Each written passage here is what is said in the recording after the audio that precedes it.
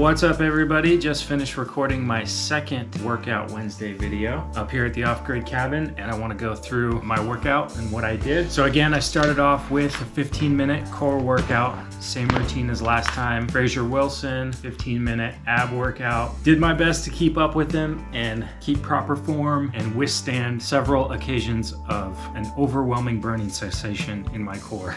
but I was able to withstand and make it through the entire 15 minutes. Then I hopped over to the weight bench over there. So when I work out my chest and triceps, I use these wrist straps because I get a lot of pain in my wrists. Those wraps help add some extra support here. So the weight of the dumbbells and, and my body weight gets distributed throughout my whole forearm. So that's why I'm using those wrist straps. But I started off with four sets of dumbbell bench press. Pretty simple exercise, down and up with the dumbbells, leaning them together at the top and trying to get a good stretch at the bottom before I press up to the top.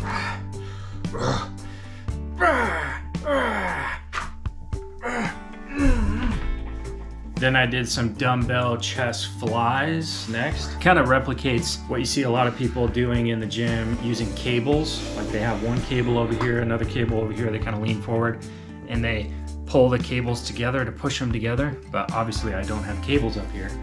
So that chest fly exercise with the dumbbells kind of replicates that. You can go a little bit too far when you're down here with the dumbbells, so you don't want to go too crazy, but I just try and stay in control the whole time. So if I go too far and lose control, that's not going to be good. So I'm I'm squeezing the entire time down and then I just know intuitively, all right, that's a good good enough stretch right there.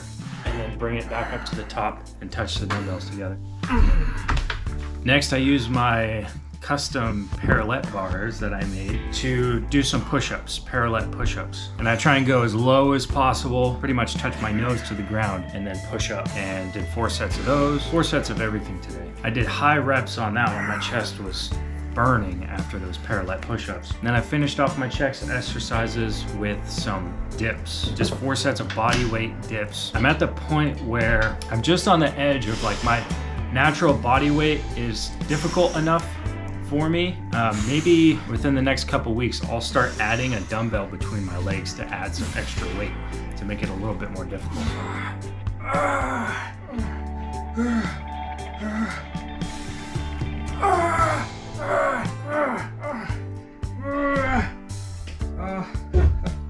Then I finish off the chest and tricep portion of my workout today by isolating my triceps with a couple of different exercises. Uh, what did I do first? Oh, I did dumbbell skull crushers. So this is like, it's kind of like the reverse of dumbbell curls for your biceps. You just lay down and give full and extension of your triceps all the way down, all the way back up, in control the entire time, squeezing at the top.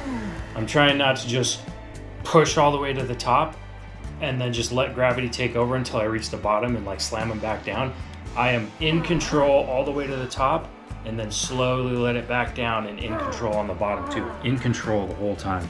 That goes for all of these exercises. And I finished off with some tricep kickbacks, just leaning over, hand on the bench, knee on the bench, and really isolating the tricep muscle, keeping my back straight, holding that bench for support, and just trying to focus completely all the focus is in the tricep. It's really squeezing at the top. It burns like crazy once you get to the top, but then slow back down, squeeze at the top, slow back down, squeeze at the top. Really feeling it there with those ones. After 15 minutes of abs, chest and triceps takes a little bit longer because I do more exercises than back and biceps. So I was doing that for probably 40 minutes. So this was a longer workout. Then I put on my running shoes and ran up the same hill that I did last time, up to the top.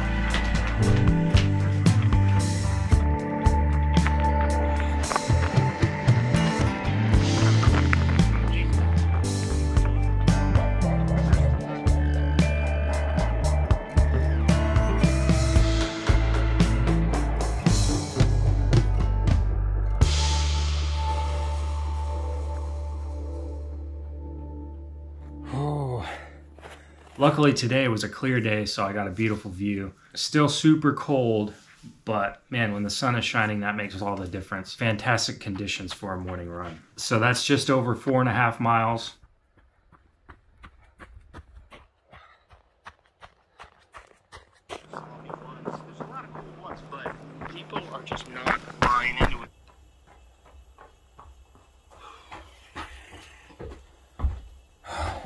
Then I came back and made some breakfast. So I'm staying on the grind. I know I said last time I'm trying to do these types of workouts five days a week. Last week I did four. four workouts in a week so i'm slacking but just making this video again and going through the process of recording is like man you gotta you gotta stick to those goals. So i'm on track. Today's wednesday. I uh, worked out monday tuesday and today so only two days left. Two more days this week. I'm gonna take tomorrow off. But right right back at it Friday and then Saturday. So hopefully this gave you some ideas of ways that you can stay in shape off grid or even if you just have some equipment like this at your home. So no excuses, get after it people.